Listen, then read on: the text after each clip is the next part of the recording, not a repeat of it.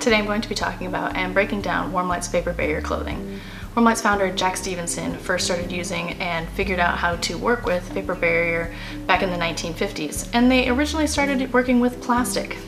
But today we have a really nice, really durable, long-lasting fabric that's comfortable to wear that you don't have to use plastic anymore. Vapor barrier is tried and true and will help you explore the great outdoors with a lot more safety. So, vapor barrier clothing. When you're hiking, climbing, running, or doing any sort of outdoor physical activity, especially for extended period of times, you are gonna need to dress in the proper layers depending on what your climate is. will depend on what kind of layers you need.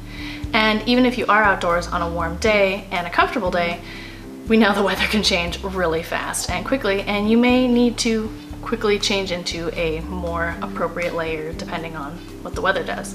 So we'll just start with the absolute basics of vapor barrier and why it's important. So we'll start off with sweating is really important.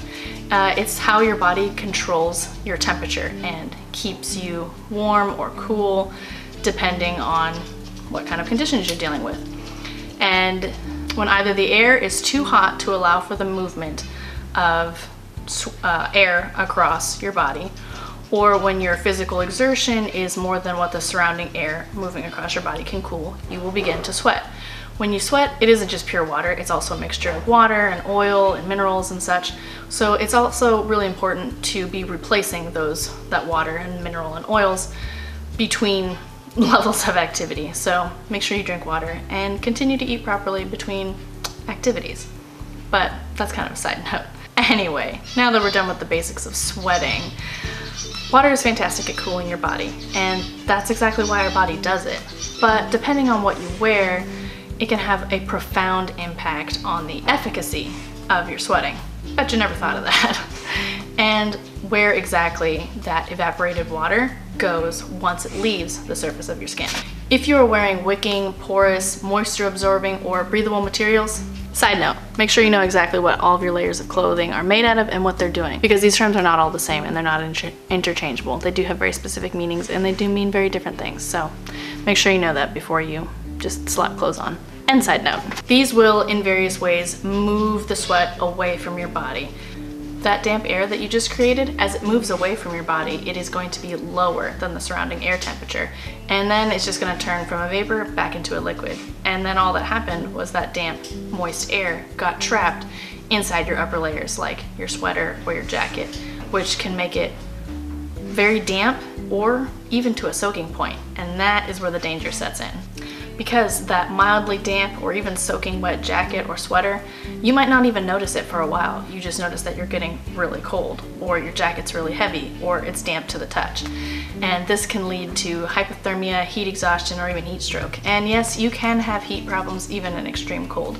All this comes down to the material and what exactly the material is doing to your body and the sweat that it is creating. It's a whole scientific process, but not all of these things are the same, and it's really important to understand what fabrics you're using and what they're gonna do. So, all this to say, what in the heck does vapor barrier do and how can it save you from all of this crazy host of problems? Well, vapor barrier is exactly what it sounds like. It's a vapor barrier.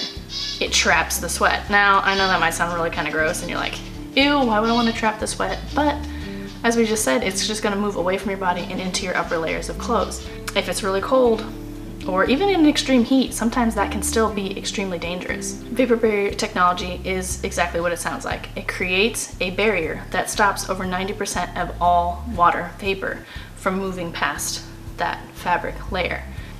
And it helps prevent it from becoming caught in your upper layers of clothing. It does take some getting used to and when people first start wearing it, they often start attributing like what seems like excessive amounts of sweating to the vapor barrier clothing. But that's just vapor barrier clothing doing its job, exactly what it was designed to do. It's trapping that sweat and keeping it from getting caught up into your upper layers. So it does take a little bit of adjusting to get used to. You will have to adjust and adapt the way that you put on layers because if you're used to wearing breathable or wicking or some sort of porous material and you're used to it just evaporating and going nowhere, nowhere, you know where it's going, into your upper layers, you're now seeing it all condensed onto your body and feeling sticky and gross. But if you take off insulating layers, you will create a warmer environment that's not too warm and creating too much excess sweat. This period of adjustment, it can take as simple as one hike or maybe several hikes, but one of the great things about Vapor Barrier on top of all of that, just the fact that it stops the water from soaking your upper layers and creating huge problems, is first of all, it can create a temperature difference of 15 to 20 degrees Fahrenheit just at your skin as a layer in and of itself. So Vapor Barrier does keep you warm just by itself. Keeps the water out from your surrounding um, clothing and because it's keeping the sweat close to your skin, it helps prevent your skin from drying out and this can help keep it moisturized, which, bonus, helps prevent against frostbite. Another helpful thing. No one wants frostbite.